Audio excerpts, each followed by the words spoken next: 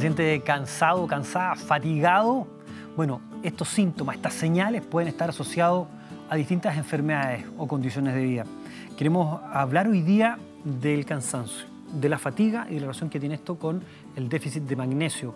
Y para eso estamos con Catherine Larraguibel, ella es nutricionista y nos acompaña hoy día en el programa. Gracias por estar con nosotros. Muchas gracias por la invitación. Hablar de cansancio, hablar de fatiga, yo creo que representa a muchísimas personas hoy día en el país, ¿no es cierto? Y en la lectura, en la segunda lectura de esta señal, podemos encontrar enfermedades relacionadas con la tiroide, podemos encontrar problemas, por ejemplo, a nivel del ciclo sueño-vigilia, nosotros gente que tiene insomnio y tantas otras cosas, la gente que ronca, la apnea del sueño, etc.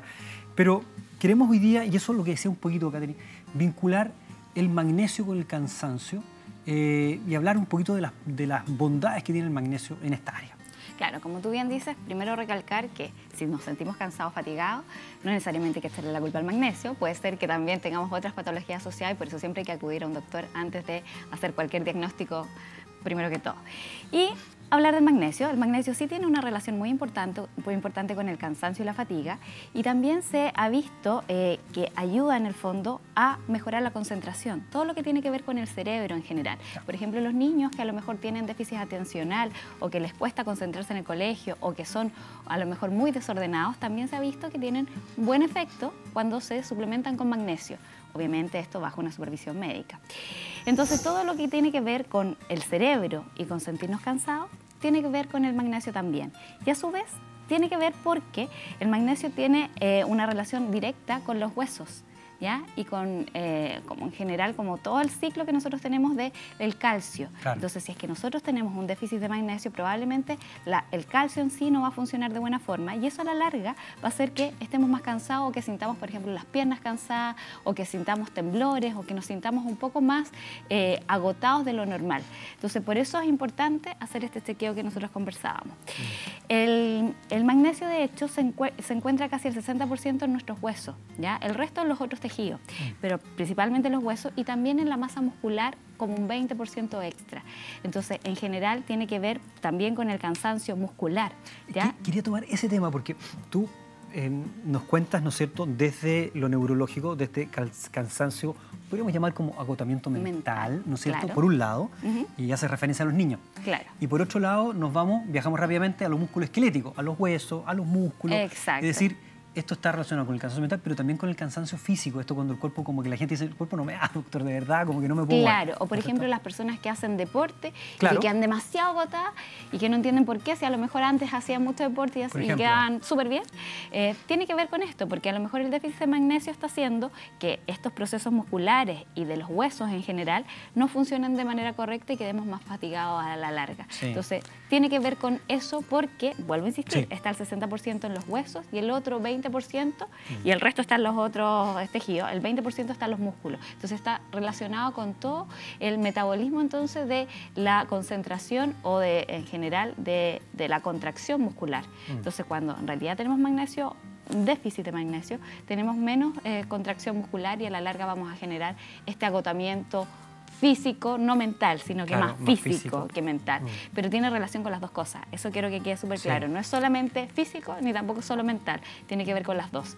Y eh, el requerimiento de magnesio, más o menos, porque depende de la edad, del grupo, etcétera, pero un promedio más o menos son 400 miligramos diarios y en realidad no es tan fácil de obtener 400 miligramos diarios tampoco. Principalmente el magnesio lo podemos encontrar en las legumbres, por ejemplo, en los cereales integrales, en los frutos secos, son como las fuentes más importantes. En los lácteos también los encontramos, pero son más medianos en, magnesio. Catherine, ¿y la, la cantidad que debiésemos consumir de los alimentos que tú señalas es mucho? ¿Sería en gran cantidad para lograr esta Justamente eso es lo que te, iba a decir, porque por ejemplo si nos comemos una taza de legumbres, aportamos aproximadamente 80 miligramos de magnesio, nosotros necesitamos 400, entonces ya tendríamos que empezar a comer hartas cosas más que no no, no, no, es que esté mal. No es que esté mal, o sea, lo podemos lograr, pero tenemos que ser súper rigurosos con la dieta, que ahí viene el problema, porque la mayor parte de las personas con esta vida moderna como media ajetreada, que no tienen para almorzar, tanto tiempo para almorzar, ni para volver a lo antiguo, que es lo que yo siempre recomiendo, volver a la típica cazuela. Las legumbres, esa es como que es la recomendación. de la abuela. Sí, esa es la comida que nosotros deberíamos comer. Pero yo sé que la vida moderna no nos permite tanto eso, o a la mayor parte de las personas no les permite. Entonces, en ese caso, claro, obviamente, a lo mejor sí es necesario suplementar si es que no estamos teniendo bueno una, una alimentación correcta. un suplemento en tu alimentación. Claro, pero bajo un control médico, como dijimos antes. Eso es muy importante, muy importante. Fíjate que cuando uno habla de fatiga, habla de cansancio, ya le decíamos a usted que esto puede estar relacionado, por ejemplo, con el metabolismo, con el funcionamiento de la tiroides, puede estar relacionado con su hábito de higiene de sueño, pero también puede estar relacionado con muchas otras enfermedades. La anemia, por, ejemplo. Anemia, eh, en algunos casos con la diabetes. El, también eh, los desbalances hormonales, por ejemplo. Eh, de repente el hombre la, la llamada andropausia, ¿no? Cuando bajan los niveles de testosterona también puede haber más agotamiento de fatiga. Tú decías, esta persona que va al gimnasio que estaba em, acostumbrada a una cierta rutina y que ha pasado el tiempo y dice, de verdad, ya con esta rutina no puedo, algo está pasando. Bueno, hay, hay chequeos hormonales también que hay que hacer en esos pacientes. Entonces, es policausal, eso es súper importante hacerlo entender, y que los síntomas de cansancio y fatiga cuando se mantienen, sobre todo porque si usted está cansado un día y es por algo puntual, se entiende. Pero si esto ya es una manifestación que se está dando reiterativa, permanente, debe usar un doctor.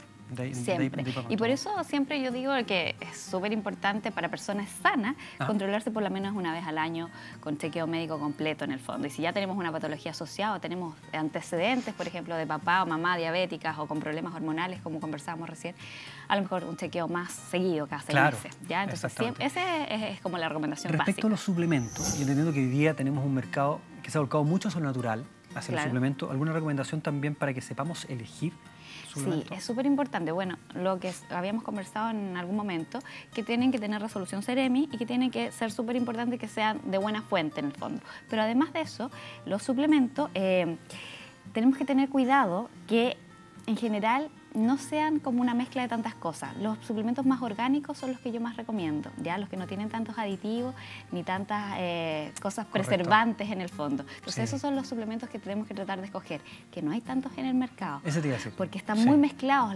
habitualmente la gran cantidad de los mm. suplementos que venden están muy mezclados con distintos preservantes, mm. colorantes y un montón de cosas que al final, claro, podemos estar mejorando el magnesio, pero podemos estar enfermando otra parte. ¿ya? Entonces eso es lo que hay que tener ojo. Correcto, buenísimo. Muchas gracias, Catherine, por estar con nosotros en el programa.